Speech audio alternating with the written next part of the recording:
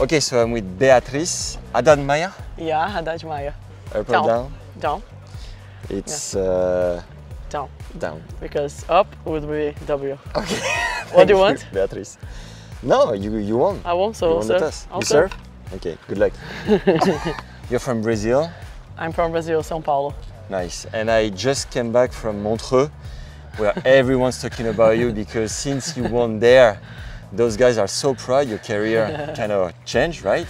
You know, I was talking to my mom FaceTime yesterday, and she she was asking me about, oh, you're going to Montreux or how is everybody?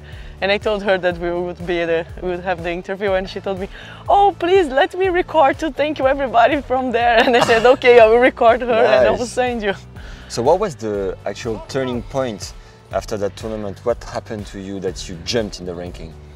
Uh, I think like uh, was not something from this specific week. I think it's uh, work that I've been doing for a long year. Like uh, I started to work with a new team after my suspension, so we had to work from zero without points, and we didn't have a lot of wild cards as well, so we had to work hard and yeah, just try to improve every single day. I think one of my qualities is uh, that I like to work, I like to practice, and I just believe in my team. Yeah. And they gave everything for me, so I think the, the key is work. There is nothing more that I c- can say or nothing special that we did, which is like unreal.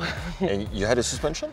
Yeah, yeah, What I happened stay uh, one year and a half out because of like uh, my supplement was contaminated, but I had to prove myself, and then it took a lot because like we need to wait the process. So now I could prove myself, but after 13 months, so I had Whoa. to came back again. Yeah, have been a hard, Not easy, uh, yeah. hard time. yeah. How you feel here in Slovenia and why you choose to come here? Uh, well, Slovenia, yeah, for the first time I've been here in Otočec last year to play the 25k. I lost second round. I was playing qualis of 25ks one year ago. wow. Uh, yeah, and I was one out of Roland Garros. And instead of being sad, we just came to play the qualis of 25k. We lost in the second round. Then we said, okay, we have two day offs. Let's explore Slovenia, where is an amazing place. So we came here to, to Portorož. We had the ice cream in cacao place, you know the, the place. Yeah, I had it yesterday. we fell in love and uh, we didn't know that we could play like one year after at 2050 here WTA so it's been very special to be here feels at home we are in front of the, the The sea sea is beautiful. and the weather is being very nice this week so it's nice cool. What's your ranking this week? uh, 18 Nice, top 20. What's your goal? What's your dream? my dream is to become the number one in the world yeah and win a Grand Slam Okay.